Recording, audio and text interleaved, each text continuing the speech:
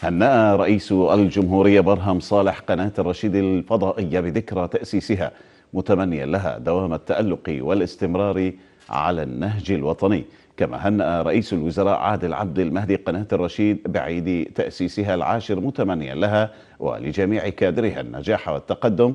كما هنأ رئيس حزب التجمع الجمهوري العراقي الأستاذ سعد عاصم الجنابي قناة الرشيد والعاملين فيها متمنيا لهم التوفيق الدائم داعيا إياهم لمواصلة العمل على النهج الوطني وبما يخدم أبناء الشعب العراقي. كما وجه وزراء ونواب وسياسيون التهنئة للقناة والعاملين فيها متمنين لها الاستمرار بالنجاح الذي استمر لعشر سنوات متواصلة. هذا وتقدم قناة الرشيد. بالشكر للمهنئين بذكرى تأسيسها من السادة رؤساء الجمهورية والوزراء والسادة الوزراء وكل المسؤولين في الحكومة الاتحادية والمحلية في بغداد والمحافظات.